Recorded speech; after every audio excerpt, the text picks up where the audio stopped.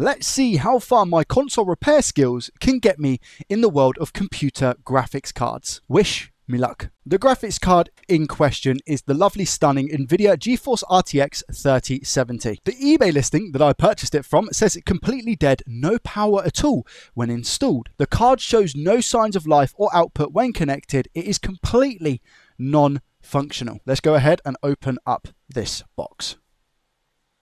Wow.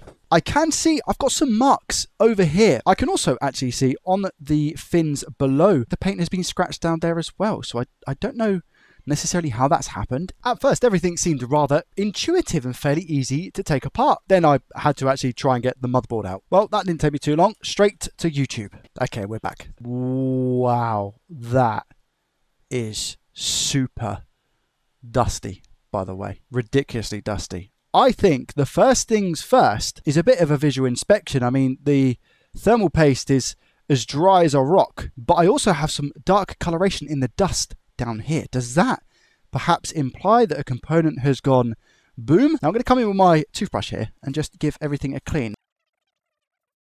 There's nothing that seems to be jumping out, in which case it's time to get my good old friend out, the microscope. This is where we had the darker, thicker dust right down this rail, specifically around these components. Now, I don't know if necessarily they're looking a tad darker. I guess maybe continue with some visual inspection with the microscope. Oh, what do we have here?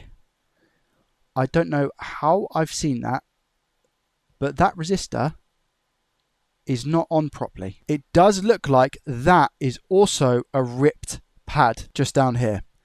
Saying that, I'm now looking at these pads thinking, are they meant to have components on? It looks like a lot of this board is missing components, but I just don't know. A lot of printed circuit boards have, for example, solder connections on the board, but no components generated. But it's pretty clear to see that this little resistor was meant to be there.